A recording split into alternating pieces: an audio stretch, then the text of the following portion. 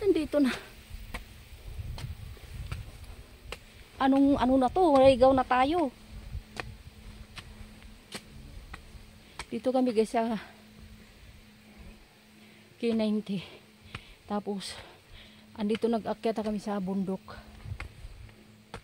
May iro dito oh.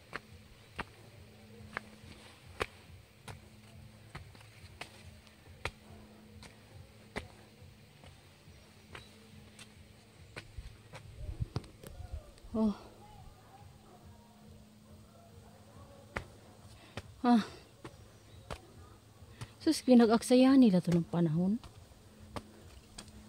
Sa bagay, baybaya naman 50 entrance.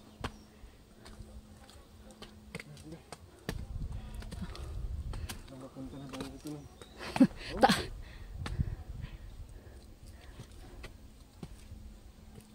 oh, Pero maganda yung kalsada, no? maganda yung daan.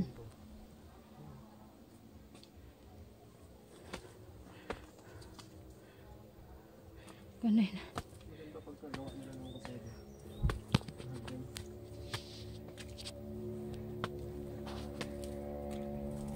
Eh, kapoy.